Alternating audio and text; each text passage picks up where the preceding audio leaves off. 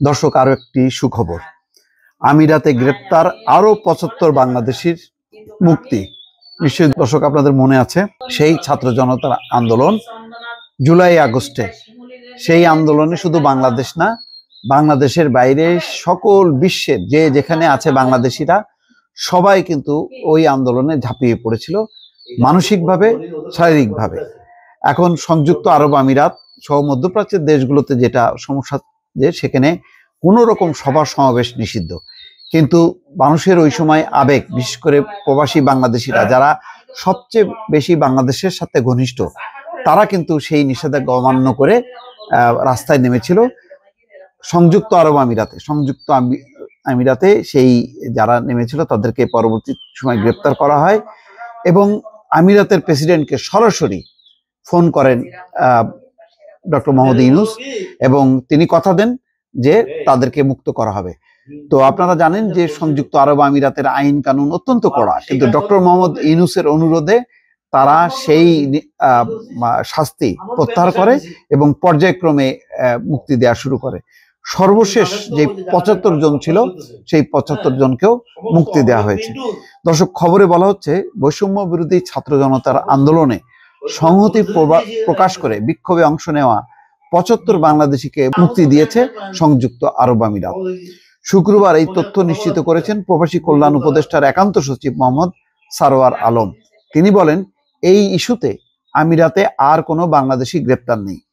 বিকেলে নিজের ফেসবুক প্রোফাইলে এক পোস্টে সরোয়ার আলম লিখেছেন, জুলাই আগস্ট দুই হাজার ছাত্র জনতাকে হত্যা ও নিপীড়নের বিরুদ্ধে সংযুক্ত আরব আমিরিতে মিছিল ও বিক্ষোভ করায় আটক আরও পঁচাত্তর বাংলাদেশি, প্রবাসী বাংলাদেশিকে আজ ক্ষমা করল আমিরাত সরকার। এই ঘটনায় এই পর্যন্ত একশো অষ্টাশি জনকে মুক্তি দিয়েছে আমিরাত সরকার। এর আগে গত তেসরা সেপ্টেম্বর এক ব্রিফিং এ প্রধান উপদেষ্টার প্রেস সচিব শফিকুল আলম জানিয়েছিলেন, আঠাশে আগস্ট প্রধান উপদেষ্টার সঙ্গে টেলিফোনে কথা হয় সংযুক্ত আরব আমিরাতের প্রেসিডেন্টের। সেখানে বড় অংশ জুড়ে ছিল পঁচাত্তর বাংলাদেশির শাস্তি মৌকুফের বিষয়টি। প্রধান উপদেষ্টা প্রেসিডেন্টকে প্রবাসী শ্রমিকদের ক্ষমা করে দেওয়ার অনুরোধ করেছিলেন। প্রেসিডেন্ট তার কথা রেখেছেন।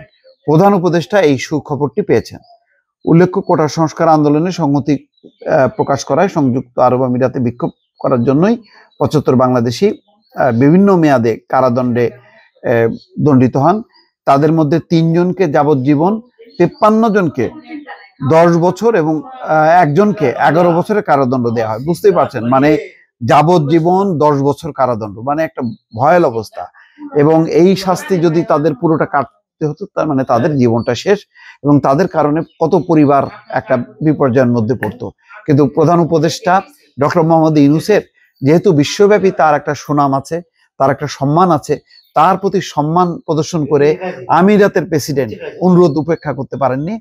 তিনি তার প্রদত্ত ক্ষমতা বলে তিনি শাস্তি মুকুব করে দেন এবং সর্বশেষ যে পঁচাত্তর জন ছিল, এখন তারাও মুক্ত হয়েছেন এবং তারা হয়তো দেশে ফিরে আসতে পারবেন। দর্শক, এই সুখবরটি দর্শক, প্রবাসী বাংলাদেশিদের জন্য। ভালো থাকবেন। আল্লাহ হাফেজ।